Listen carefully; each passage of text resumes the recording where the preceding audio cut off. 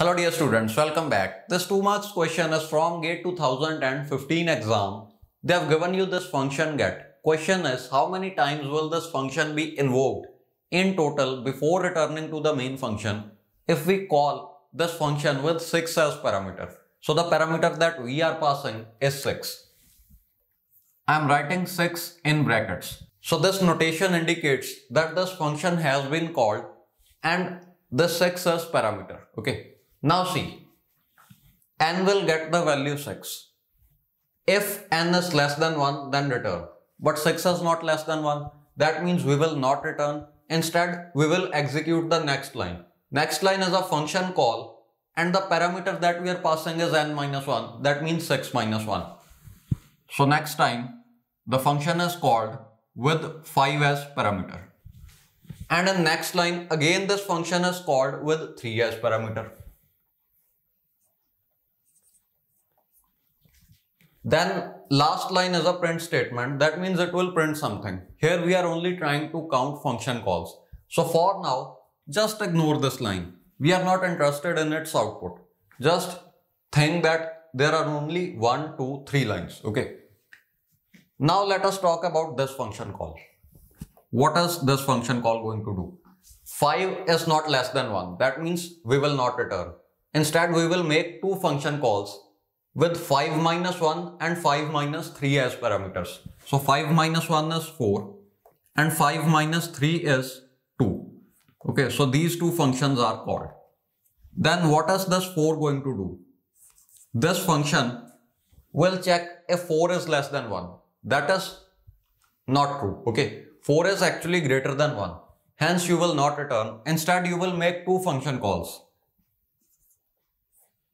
First time you will pass n minus 1 that is 4 minus 1 as parameter. Then you are going to pass n minus 3 that is 4 minus 3 as parameter. So 4 minus 3 is 1. Okay. So these two functions are called. Now let us talk about this function call only. It will call 3 minus 1 2 and 3 minus 3 that is 0. This one is going to call 2 minus 1 that is 1 and 2 minus 3 that is minus 1. So here what will happen? It will call 1 minus 1 that is 0 and 1 minus 3 that is minus 2. Okay, so this is minus 2. Now just have a look.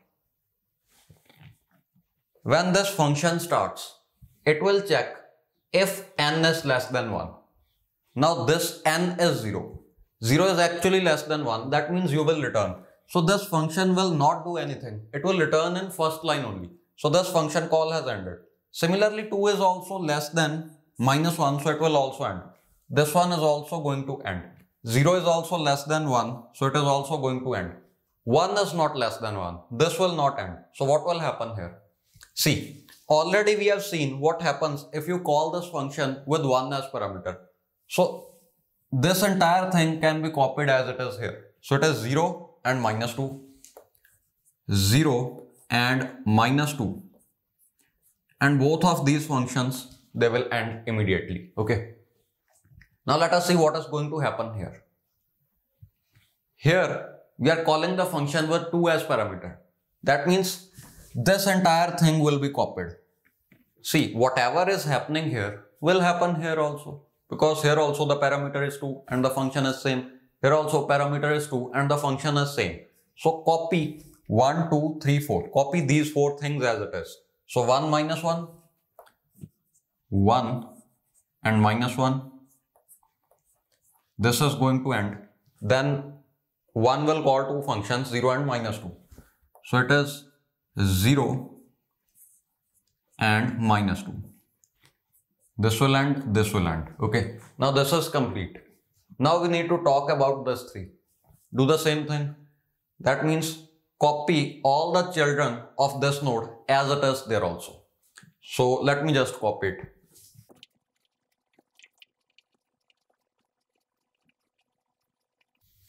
Like this. Now you can see these are all the function calls that are made. And now you can just simply count them and give the answer. So it is 1, 2, 3, 4, 5, 6, 7, 8, 9, 10, 11, 12, 13, 14, 15, 16, 17, 18, 19, 20, 21, 22, 23, 24 and 25. That means in total 25 function calls are made. Answer is 25. Now we are also going to find the output of this program. If you don't want to see that part, you can skip it. But I recommend at least you try it yourself or you can watch the rest of the video for knowing its output. Okay. Yeah, one more thing. If you want to find output of such programs, simply include this print statement also. For example, this function, this one, first line that it executes is this. So 6 minus 1, 5 is called and 6 minus 3, 3 is called. Okay, get function is called with parameter 3. Then last statement is print n. So what is it going to do? It is going to print 6. Okay, here what will happen? It is going to print 5. So I'm just not writing P6 and P5. I will simply write the number. Okay, because we want to save space. So let me just complete it. See, this function call is for 3. So it will call two functions and then it will print 3. Okay. Here 1 will be printed. Now see, what will happen in this case? In this case, nothing will be printed. For 0, this function, it will end on first line only. So there is no chance that you reach on this print statement. Okay. So where I, wherever I have written these crosses, that function will not print anything. It will just end in first line only. Okay. So this function will print 2. So I'm writing 2 here. Then, yeah, we have completed the right side. Now let us come here. This function will print 2. This will end, this will end, this will end. This one will print 1. Then let us just talk about this part. It is going to print 4. This one is going to print 1. This one will end, this one will end, this one will end. This is going to print 3. This one is going to print 2. This one is going to print 1. And this one, this one, this one, they will end. Now let me just do one thing. Let me confirm if everything is okay. I'll just resume the video then. Okay. Now entire tree is drawn. There is no mistake in this tree. Now we just need to find the output of this program. For finding output of a program, just scan such a tree top down left to right. So start from the root node. That means start from here and keep on scanning it for print statements top down left to right. See, till now we haven't seen any print statement. Now this is the first print statement. That means the first print statement that will be executed is this one. Okay, so what will be printed? It is going to print 1. I'm writing the output of program here. That means first this function, it will call this one, then it will call this one, then it will call this one, then it will call this one. So all of the activation records, they are being pushed onto the stack. Then this function will be called, then this one will be called and it will end. Then we will come back to this function only. Then this one will be called. This function call will also end. Then this function will try to print something. Okay. So first number that is printed is 1.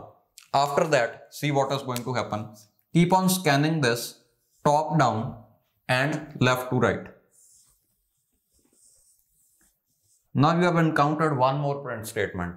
Just print that. So this number is 2. That means 2 will be printed okay after that keep on continuing the same process we have encountered one more print whatever i have written in red that is a print statement so 3 is going to be printed then you can see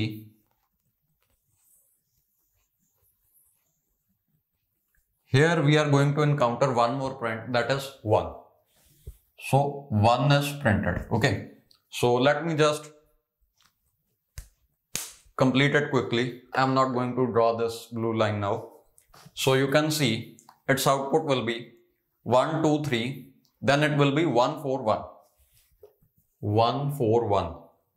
Then after that we are going to have 251. Yeah, 251. Is it visible? Yeah, it is. So 251. After that we have 2, 3, 6. 2, 3, 6. So this is the output. Yeah, one more point. This number 236, it is not present in new line. It will be present here only, but I have written this in new line because I'm not sure if that will be visible or not. So anyways, output is 1, 2, 3, 1, 4, 1, 2, 5, 1, 2, 3, 6. So now for my satisfaction, I want to explain this function with the stack. Okay. So I'll just take some small value.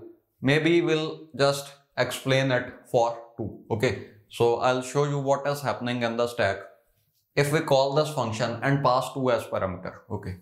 So now let us actually understand how these function calls are made. That means now let us just solve this question with the help of example. I'm not going to solve it for value 6 Maybe we'll take value 2 because it will be easier. Okay.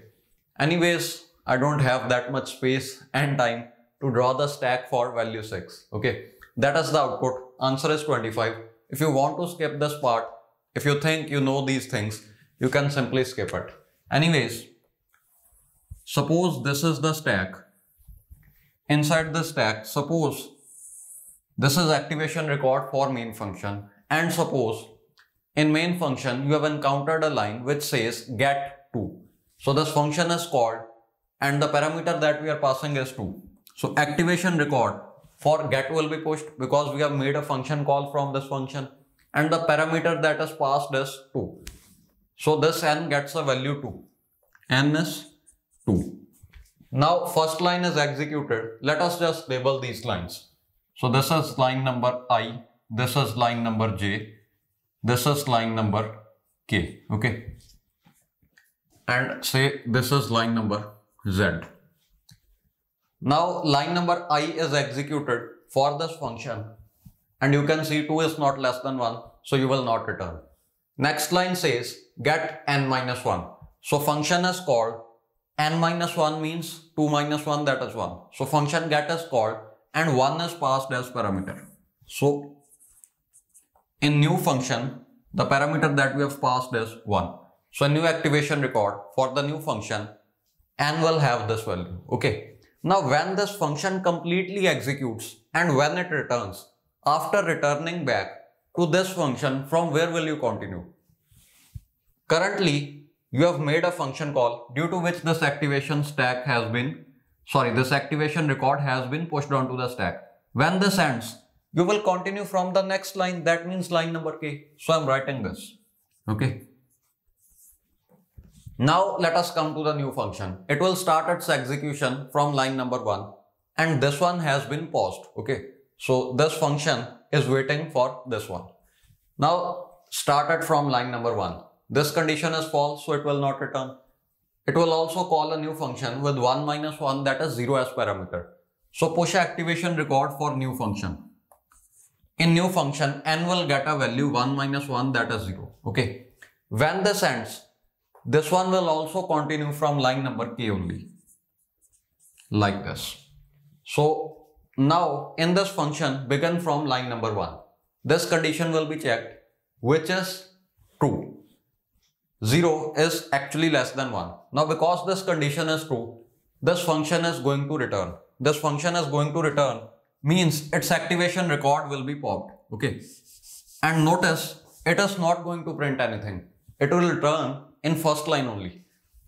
So now first function call has returned. So we will come back to this function and we will resume from line number k. That means from here. So next function that is going to be called as get n minus 3. That means 1 minus 3. So the value that is passed is minus 2 like this. Now you can see this value that sorry this value is less than 1. That means this function will also return when it executes the first line only or line number i. So this also returns and hence activation record will be popped from the stack. You will come back to this function only and from where will you continue? See right now we executed this one. You will continue from line number Z. Okay. So this is actually I need to write Z here. So we need to continue this one from line number Z. That means first time the print statement is executed. It says print n. So n is 1. What is printed? 1. Now you can see this function has ended. That means push the, sorry, pop the current activation record. This is popped. Now you will return back to this one. From where will you start? From line number A. That means from here. This is a function call get n minus 3. So get 2 minus 3. That means minus 1 is passed. So get function is called with a value minus 1 like this okay? When this ends you will come back here only and from where will you continue? See currently you are on this line. When this function call ends you will continue from line number z. So i'm updating this to z okay? Now this is a number that is less than 1 that means this function will return in first statement only. So this one returns without printing anything okay and now you will return to this function call and you will continue from line number z which is this one. So print n that means 2 will be printed. Like this. So this is the output. If you call this function get for a value 2 and you can see if you call this function for value 6 this is the output. And total number of function calls that will be made for value 6 are 25 we are we have already seen that tree. Okay so actually this is what is happening inside the memory. But to analyze it quickly, we use the tree method. In exam, I recommend you have to use the tree method only because that will give you answer in time. Okay.